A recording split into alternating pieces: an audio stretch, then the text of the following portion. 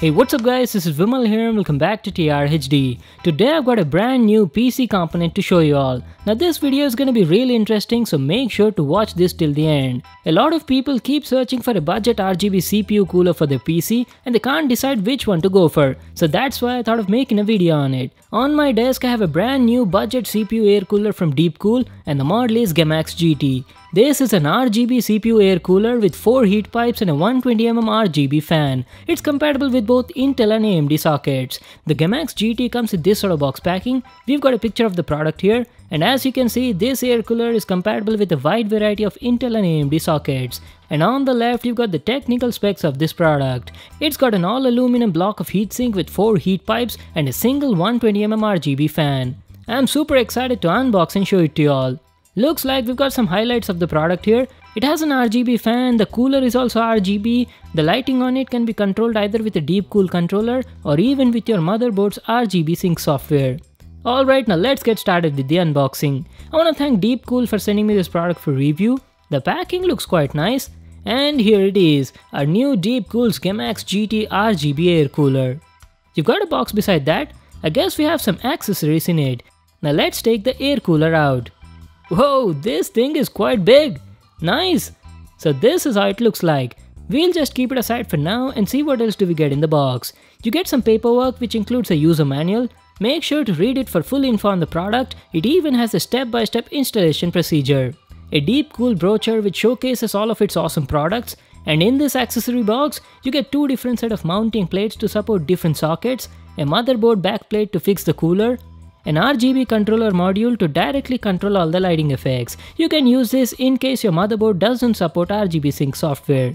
An RGB extension cable, Deepcool's thermal paste, some screws and fan fixing hooks for the cooler. So these are all the stuff we got in the box. Now let me show you the Gammaxx GT air cooler from Deepcool. Let me take it out of this tray. Man, this thing is quite heavy. It weighs around 870 grams. In the box, both the heatsink and the fan come separately like this. You need to fix it while installation. It's a 120mm PWM low noise RGB hydro bearing fan. Let me keep it aside and show you the cooler's actual heatsink. Even the heatsink is RGB guys, the entire top aluminum panel glows in RGB. The heatsink is quite big in size and feels solid in the hand. You've got the Deepcool logo at the top that glows in RGB and I have to say the build quality is very nice. This heatsink has an updated design with 0.5mm thickness fins to provide highly efficient cooling. At the bottom you got 4 heavy duty integrated heat pipes to directly suck out the heat from your CPU. Let me just give you a closer look at it. And you've got a cable over here which you need to connect your motherboard's RGB header. Coming to the heatsink fan, this is how it looks like. You've got the Deepcool logo here. It's a 120mm PWM low noise RGB hydro bearing fan. The build quality of the fan is good and has a max speed of 1500 RPM. Now let's get started with the installation of this cooler in my PC. The first thing you need to do is install this backplate on your motherboard. This backplate supports both Intel and AMD sockets. I am currently installing it on my Asus Crosshair 7 which has an AM4 socket. The installation was very easy, I just had to put the backplate and tighten up with screws from the other side. After that, you need to install mounting plates on your heatsink that are compatible with your motherboard socket type. As you can see I've already done that, it was very simple, just align the plates on the heatsink and tighten with two screws. Also guys, there is no need to get confused anywhere, the company provides you with step-by-step -step installation in the manual. So once after installing the mounting plates, we need to fix it on top of the CPU. So remove the sticker on the cooler's base and before placing it on the CPU, don't forget to apply some fresh thermal paste. So after applying the paste, carefully place a cooler on top of it and align the screws on the mounting plate with the holes on the motherboard's back plate just like this. So it should sit firmly over there. Now tighten up all the screws on the cooler's mounting plate so the heatsink is sturdy and fixed firmly in its place. So we are almost 60% done guys, we've successfully fixed the heatsink. Now next we need to install the fan on it. This heatsink supports installation of two fans on it on both the sides, or you can even install one, the choice is up to you. I'll be installing only one fan for now because I'm a bit short on the RGB headers on my motherboard. Installation of the fan is super easy, you require no screws at all, there's no complication involved. These fans come with two hooks that you need to fix it on the provided holes and after that just place them in front of the heatsink and clip it on with the hooks just like this. So we finally fixed the fans on the heatsink and this is how the metal clamps will look like after fixing them properly. So that's it guys, we are done with the installation of the cooler. Now all that is left is to connect these cables on the motherboard. You have three cables here, Two RGB cables go to the RGB headers and a fan cable will go to the CPU fan socket on your motherboard. And that's it, our new CPU cooler is ready to be used. Along with the Gammaxx GT, Deepcool also sent me this pack of 3 RGB fans. The model is Deepcool RF120. They are the same fans that you get with the air cooler.